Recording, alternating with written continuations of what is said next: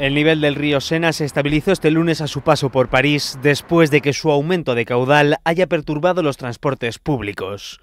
Mientras, en la región parisina, la subida de las aguas del Sena ha causado al menos 1.500 evacuados y dejado a otros tantos hogares sin luz. En su último parte, la prefectura de la región parisina Ile-de-France informó de que el caudal del Sena se ha estabilizado en torno a los 5,85 metros, una cota lejos de los 6,10 metros de 2016, cuando las aguas provocaron la muerte de dos personas y daños por valor de mil millones de euros. No obstante, la alerta naranja aún sigue vigente en París y en otros siete departamentos franceses, debido a la excepcional cantidad de lluvia registrada en diciembre de 2017 y enero de 2018.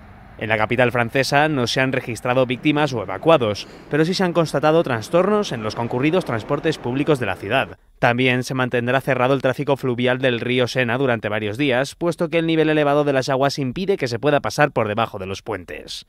El Ejecutivo pronosticó una lenta disminución del nivel de las aguas a partir del martes, que llevará el caudal a los 5,5 metros el miércoles. Además de la cuenca del Sena, una parte del caudal del Saona, el principal afluente del Ródano, al sureste de Francia, también está en alerta naranja.